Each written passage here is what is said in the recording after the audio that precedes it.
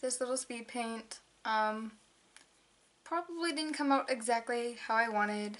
Um, it's not perfect, which bugs the living crap out of me. It's the first time I've done a normal, quote, face up in a while. Um, but I'm pretty happy with it.